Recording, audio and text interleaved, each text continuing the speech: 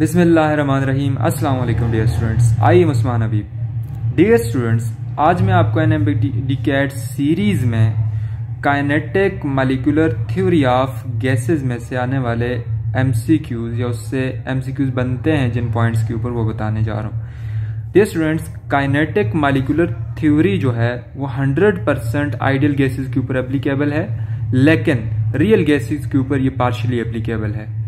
यानी जो kinetic molecular theory के डिफरेंट पास्टुलेट्स हैं, उनमें से सिर्फ़ दो पास्टुलेट ऐसे हैं जो कि रियल गैसेस के ऊपर अप्लाई नहीं होते। आइडियल गैसेस के ऊपर सारे के सारे पास्टुलेट अप्लाई होते हैं। अब डियर स्टूडेंट्स उनमें से दो पास्टुलेट कौन से हैं जो रियल गैसेस के ऊपर अप्लीकेबल नहीं है? कि काइनेटिक मालिकुलर थ्योरी का एक पॉइंट है कि गैस मालिक्यूल्स के दरमियान कोई इंटर फोर्सेस नहीं होती, लेकिन रियल गैसेस में तो गैसेस के पार्टिकल्स या मालिक्यूल्स के दरमियान इंटर मालिकुलर फोर्सेस हुआ करती हैं। जबकि इसका दूसरा पॉइंट जो रियल गैसेस के ऊपर अप्लीकेबल नहीं है, वो है नेग्लेजिबल वॉल्यूम कि अगर किसी भी कंटेनर का वॉल्यूम हम लोग कंप्रेस कर लें तो वो इतना कम होगा कि वो पूरे कंटेनर के मुकाबले में वो वॉल्यूम कंसिडर नहीं होगा। लेकिन रियल गैसेस का, के केस में अगर आप वॉल्यूम को कंप्रेस करें तो वो पूरे कंटेनर के मुकाबले में नेग्लेक्ट नहीं होता। इसलिए ये पॉइंट भी आइडियल के लिए है रियल गैसेस के लिए नहीं है। अब डियर स्टूडेंट्स अगर हम लोगों ने किसी भी गैस के लिए काइनेटिक एनर्जी कैलकुलेट करनी है तो उसके लिए वन मोल जितने नंबर ऑफ़ मोल्स भी हों, हम मालिक्यूल की जो काइनेटिक एनर्जी है वो कैलकुलेट कर सकते हैं kinetic energy will be equal to kinetic energy will be equal to n number of mole multiply by three by two R T dear student number of mole हमें पता है number of particle divide by Avogadro number के बराबर होता है, या mass divide by molar mass के बराबर भी हो सकता है।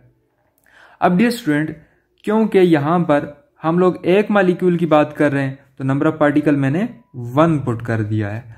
तो नंबर ऑफ़ पार्टिकल जब वन पुट करेंगे तो वन डिवाइड बाय NA हो जाएगा three divide by two R T हो जाएगा।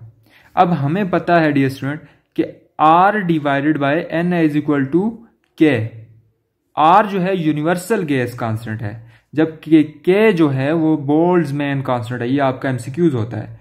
कि जब कभी भी हम लोग एक मॉलिक्यूल की काइनेटिक एनर्जी फाइंड करेंगे तो वहाँ पर बोल्ड मैन कांस्टेंट की वैल्यू लगाएँगे। क्यों? कि जो R divided by N A होता है, वो के के बराबर होता है।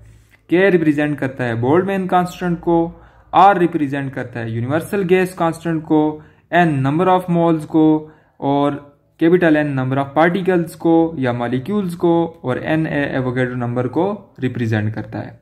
डियर स्टूडेंट्स अब आइडियल गैसेस और रियल गैसेस जो होती हैं, उनमें क्या डिफरेंस होता है? तो हम काइनेटिक मालिकुलर थ्योरी के ऊपर, की बेस के ऊपर भी हम लोग ये बात कर सकते हैं कि ऐसी गैसेस जिनके पार्टिकल के दरमियान में कोई इंटरमाइक्रो फोर्सेज ना हो, ऐसी गैसेस को आइडियल गैसेस कहते हैं। ऐसी गैसेस जिनके वॉल्यूम को जब कंप्रेस करें तो वो टोटल वॉल्यूम के मुकाबले में नेग्लेजिबल हो, ऐसी गैसेस को आइडियल गैसेस कहते हैं।